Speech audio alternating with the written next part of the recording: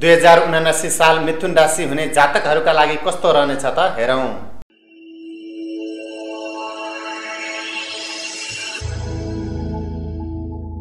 दुई हजार उनासी साल मिथुन राशि हुने व्यक्तिहरूको लागि सामान्य नै रहने देखिन्छ। राहुको गोचर राम्रो भएकाले नयाँ कार्यको थालनी हुने वा रोजगार पाइने समय आएको छ। रोकिएका र अधुरा कार्यहरू या वैदेशिक क्षेत्रका कामहरू अगाडि बढ्ने देखिन्छ। शनिको अडैया दशा केतु र बृहस्पतिले भने नकारात्मक फल दिन सक्छन्। त्यस कारणले झुटा आरोप प्रत्यारोप वाद विवाद झगडा र चिन्ता बढ्न सक्छ। साथै स्वास्थ्यप्रति पनि सजगता रहन जरुरी छ।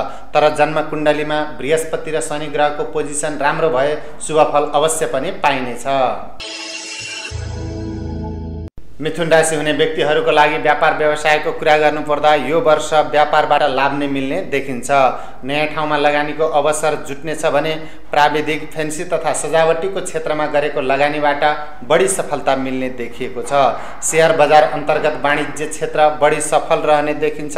यदि जन्म कुण्डलीमा शनि ग्रह स्वगृही मित्रगृही या उच्च छ भने अझै बढी सफलता मिल्नेछ। विशेष गरेर प्राविधिक कुरा टेक्निकल इलेक्ट्रिकल सामानहरूमा गरेको लगानीबाट बढी लाभ मिल्ने देखिन्छ। आर्थिक दृष्टिले वैशाख भाद्र र मङ्सिर महिना बढी शुभ रहेका छन्। मिथुन राशि हुने व्यक्तिहरूको लागि प्रेम र सम्बन्धको कुरा गर्नुपर्दा यो वर्ष प्रेम सम्बन्ध नजोडेकै जाति हुनेछ। प्रेम र मित्रताको बन्धनमा दूरी आउन सक्छ साथै पुरानो र नयाँ सम्बन्धमा मनमुटाव आउने आफन्त पनि टाढा हुन सक्नेछन्।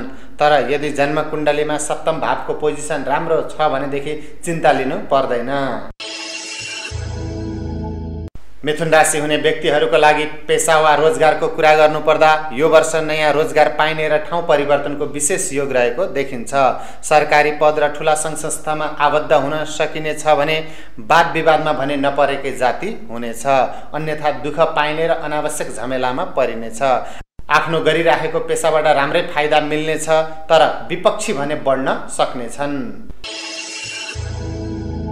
मिथुन राशि हुने व्यक्तिहरूको लागि स्वास्थ्य बारेमा जानकारी दिनुपर्दा मानसिक चिन्ता र समस्याहरू बढ्न सक्छ रक्त विकार र शीर्ष पीडाको समस्या पनि बढ्न सक्नेछ।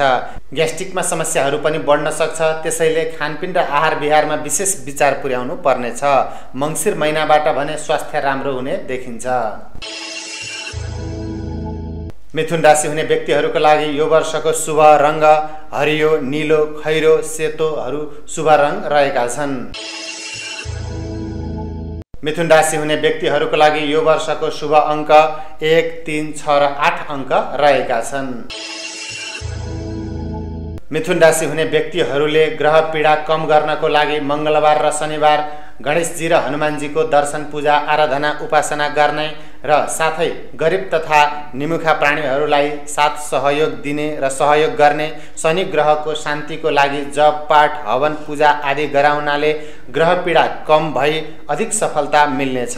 तर सकारात्मक कार्य र कर्म गर्नेहरूलाई भने शनि ग्रहको जहिले पनि आशीर्वाद मिल्नेछ।